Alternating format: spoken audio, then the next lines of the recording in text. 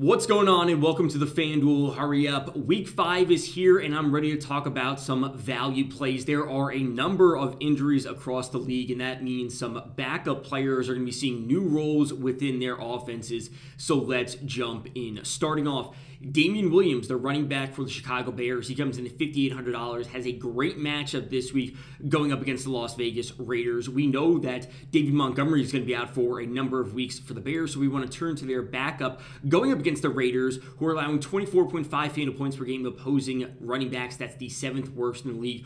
Over at numberFire, we have Williams projected for 19 total touches this week. That has him coming in as the top value play among running backs. A great matchup versus the Raiders, under $6,000. Certainly a player you want in your lineups. Next up, Laviska Shenault coming in at also $5,800 for the Jacksonville Jaguars. We know they are without DJ Chark, who's now on injured reserve, got hurt last week against the Bengals. Uh, already, we see Shenault coming in with a 21% market share of targets, which is good to see.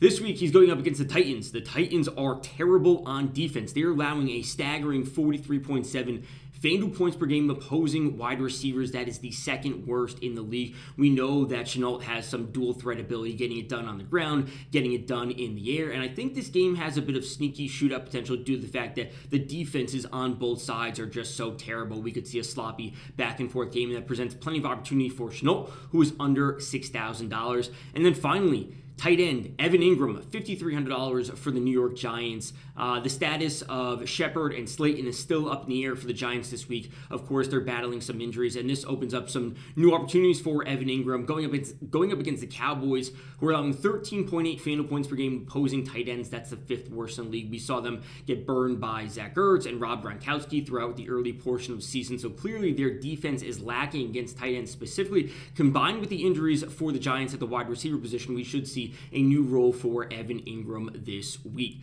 That does it for value plays this week. I'll be back next week giving you more value plays right here on the FanDuel Hurry Up.